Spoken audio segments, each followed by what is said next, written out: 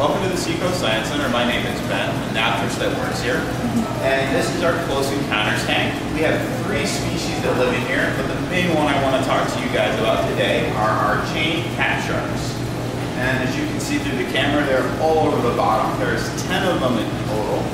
Um, the one we're going to talk about today is the biggest one in the tank. She's about a foot long. You can see her stretched out on my arm there, head to tail. So they live on the bottom. So they live on a nice sandy bottom like you see right here. Put sand in the water, it's alright.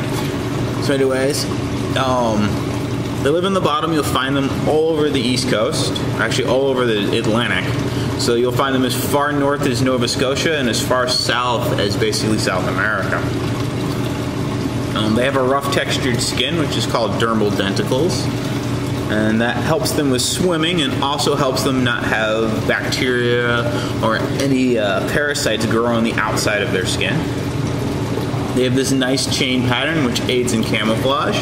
We're gonna let her swim off. Let's see if I can pick up another one. Grab one of the little guys here. You can see a difference in size right there.